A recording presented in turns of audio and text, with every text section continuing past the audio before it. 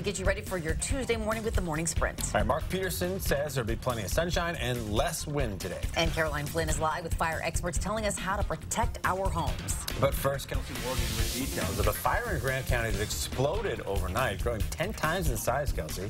Well, last night, officials said the 243 fire east of Vantage was about 300 acres. Overnight, it ballooned to 3,000 acres. Anywhere from 25 to 75 homes on Beverly Burke Road are under urgent level three evacuation notices right now.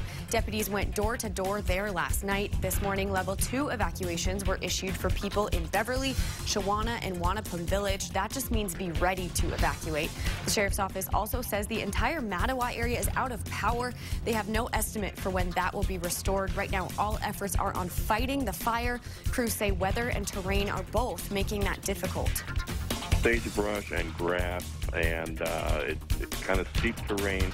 But we also had some pretty significant winds last night that were pushing the fire, and that's what caused it to grow so great. The National Weather Service says those winds were gusting up to 20 miles per hour overnight. Crews say some buildings were lost, but no homes. Washington's fire marshal authorized uh, sending statewide resources to help get this fire under control.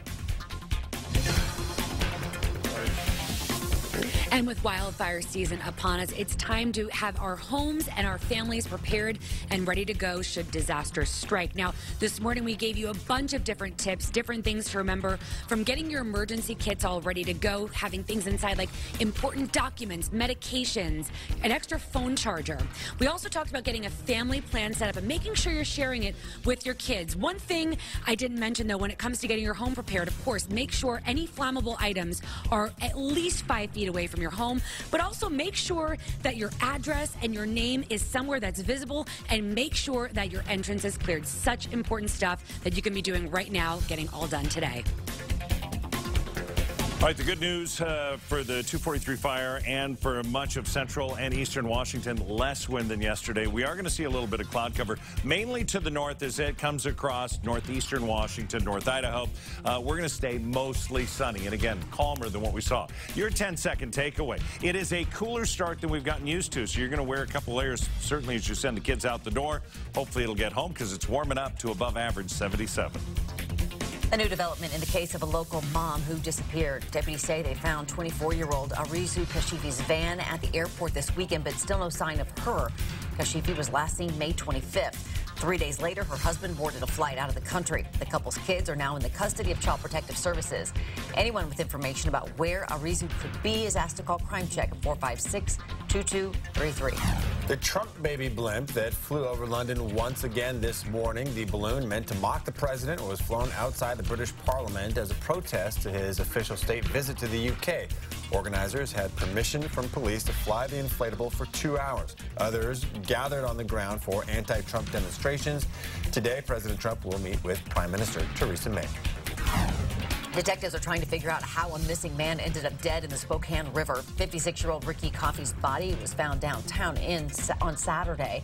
Coffey was last seen at the Walmart on North Colton Street May 11th. His car was found abandoned near Spokane Community College May 15th. Spokane police now want to know if anyone saw anything suspicious at that Walmart or have any information that could help them figure out what happened to Coffey or how he died.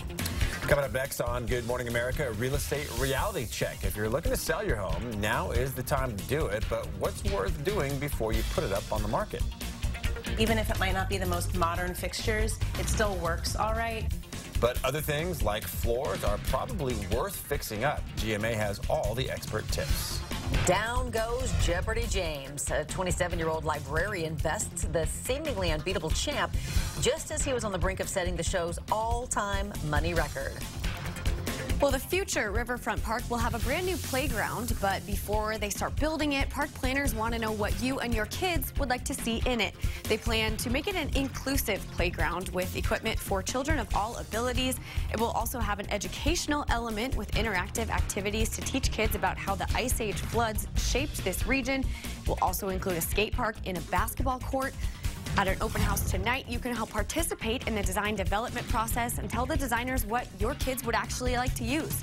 It's happening from 6.30 to 8 tonight in the council chambers at City Hall. Construction on that playground set to begin next summer. Katy Perry, Luke Bryan, and Lionel Richie are coming to Spokane. The American Idol tour bus has just announced it will make a stop in Spokane this September. Spokane is one of 20 cities across the country where auditions will be held this year.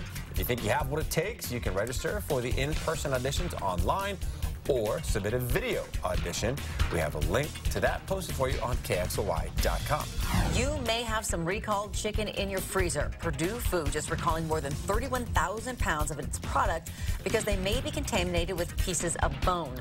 The fully cooked chicken items were produced March 21st and shipped to stores across the U.S. The problem was discovered through consumer complaints, although the USDA says there have been no reports of anybody being injured. If you have any of that chicken, throw it away or return it to the store where you bought it. The intersection of Highway 95 and Kathleen Avenue in Coeur d'Alene will look like this for months. A drunk driver ran into the traffic signal this weekend. Now it has to be completely replaced. Idaho's Department of Transportation is installing a temporary signal this week to help get traffic moving, but they want to warn drivers there will be lane closures as they install it, so you can expect detours and delays. Tonight, No-Li Brewhouse in Spokane will have its first weekly skee ball tournament. Uh, they will now happen every Tuesday evening, 6 to 9. You'll just have to sign up at 6. Each player gets at least three rounds to run up their score. The top three scores will get free gear to take home. So hit and miss on that skee ball thing, but Mother Nature hitting it big time today. Sunshine, calmer, 77 today, 77 again tomorrow. The cold front comes in tomorrow night.